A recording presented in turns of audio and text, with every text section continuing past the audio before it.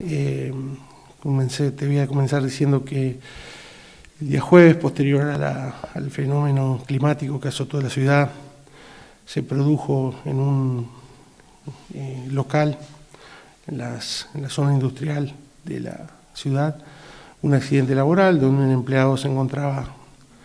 reparando el techo de la firma a raíz de la, de la piedra que había caído. Eh, en ese momento que se encontraba desempeñándose y desarrollando sus actividades, pisa mal, pisa una chapa eh, y esta sede eh, cayendo al vacío y ocasionando que el hombre pierda conocimiento y fuera trasladado de urgencia a la ciudad de Rafaela. Por otro lado, el día amanecer, día viernes, en la ruta 34, jurisdicción de la ciudad de Ceres, se produjo un accidente entre dos camiones, uno de los cuales se encontraba detenido a raíz de, los controles que existe por la Policía de Santiago del Estero en el límite interprovincial, circunstancia que no fue percibida en teoría por, otro camión, el cual lo embiste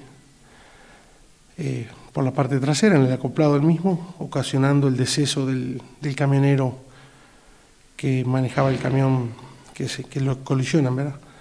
Y bueno, posteriormente también en la localidad de Monigotes, eh, dos personas femeninas, más mayor de edad, se desplazaban mm,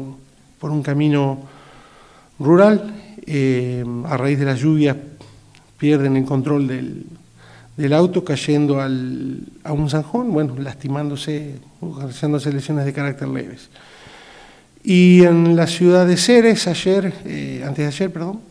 bueno, tuvimos el, hecho de un robo menor en el Club Olímpico donde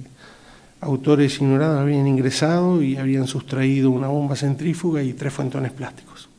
Están trabajando sobre eso. Además, eh, tanto vos como el jefe de unidad estuvieron eh, supervisando y fiscalizando también todo lo que tiene que ver los, los, nuevos operativos en Ceres y en la región. Así es, como ustedes sabrán y es de público conocimiento, la ciudad de Ceres se vio afectada, ¿no es cierto?, casos de, coronavirus que se han dado positivos. Al respecto, el jefe de, unidad eh, diagramó un dispositivo conforme a las directivas recibidas por la superioridad,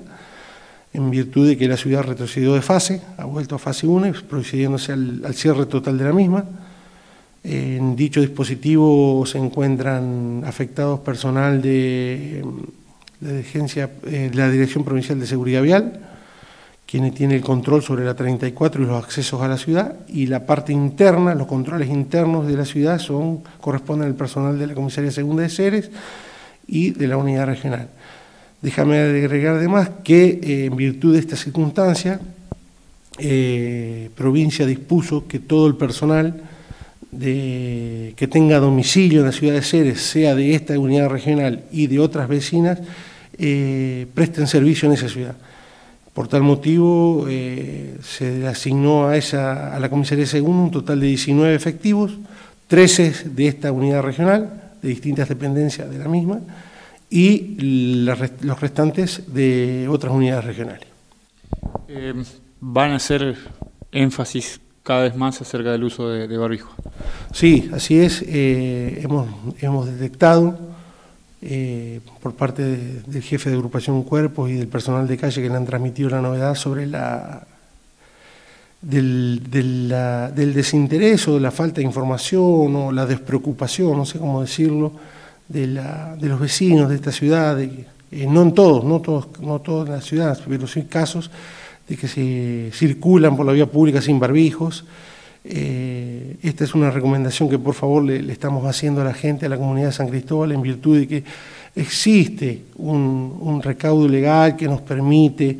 eh, accionar contra estas personas, proceder a la notificación a través de la ley de faltas,